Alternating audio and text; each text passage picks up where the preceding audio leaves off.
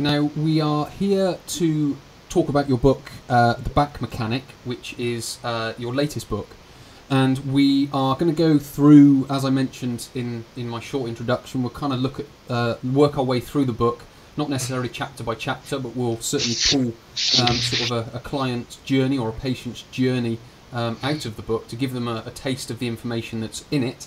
Um, but I do recommend that whoever is listening to this and gets some value from uh, these questions and these answers and, and the videos themselves, that they do go to backfitpro.com and uh, purchase the book because they'll get a lot more from the book itself um, than the than the videos um, that we're doing uh, today. So in chapter one, uh, you talk about uh, myth busting and separating fact from fiction. And if I'm not mistaken, there are about 18 different myths that you talk about in here, all the way from uh, back pain is linked to having tight hamstrings, to lying in bed is good for my back, all the way to uh, a herniated disc spells the end of a person's athletic career. So it's quite a broad spectrum. But what I'd like to ask you about is one of the, the first ones that you wrote about, and it's backs can be rehabilitated in six to 12 weeks. And me, myself, working with people with back pain, that is a common um, understanding that they have. And it's very much uh, sort of educating them a little bit more about the back and a little bit more about the rehabilitation process that helps them understand maybe a wider answer to that.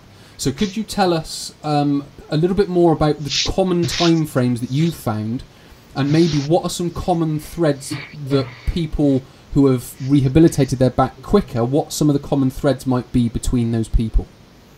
Yes. Well, first of all, this notion that backs uh, heal within six to 12 weeks is really driven by the medical insurance uh, industry who pay for back pain uh, disability.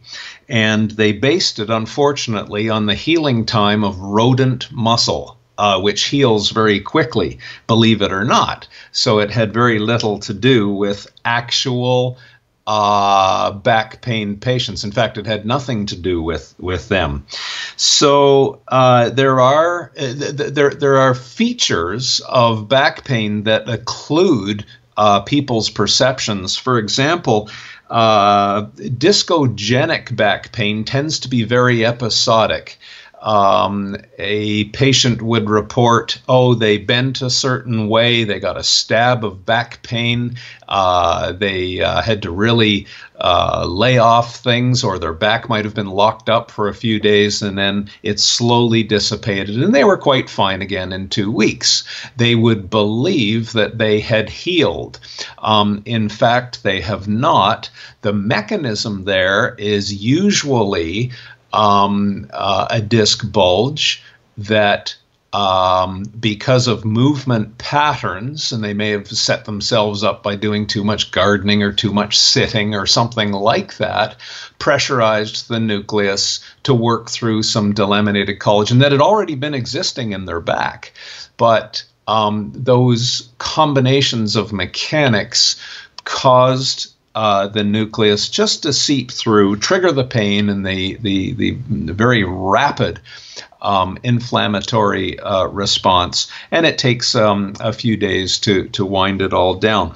So uh, what I'm saying there is that the person was actually in control, but they didn't know it. No one had ever shown them what the mechanism of that acute attack was. They might have simply been just bending forward and flushing the toilet, and they wonder how on God's green earth did they have such um, a, a, disabling week or two afterwards. Um, if they learned what the mechanism was, they could avoid it. And I've had some patients who've had that uh, description for years, and they never had another episodic um, a- acute attack again. Um, so that would be a very rapid, uh, an example of a very rapid dealing with the mechanism. Um, but it all comes back to the patient understanding the mechanism, and that's why an assessment of their, their pain trigger is so important.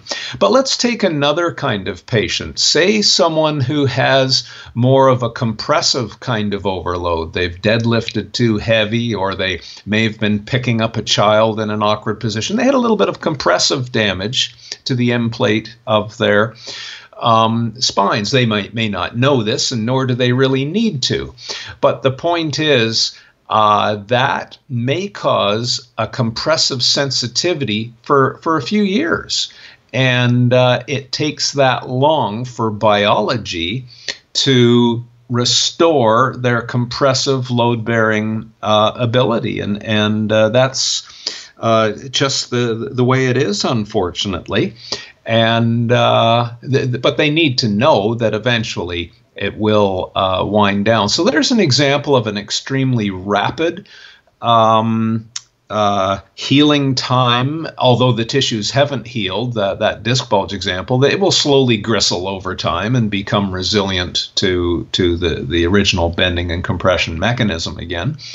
Uh, and the other one, which was uh, purely compressive uh, and it, it may take um, uh, uh, much, much longer. But there, the point is, there's a whole host of different causes of back pain, but with an appropriate assessment, the person can get an idea of what uh, uh, mechanical uh, items, such as specific motions, postures, and loads cause their pain sensitivity to grow, and then, uh, of course, they now have an understanding of how to wind them down.